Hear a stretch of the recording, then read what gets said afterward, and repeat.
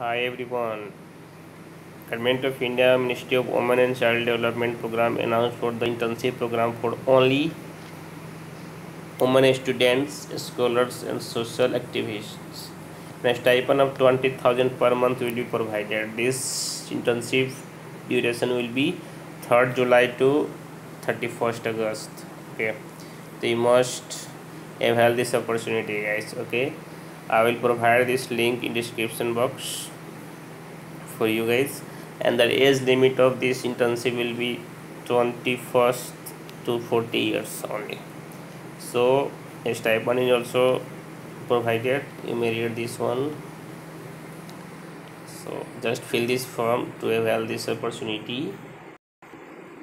And after clicking on this link there will be the google form you must fill that accordingly okay?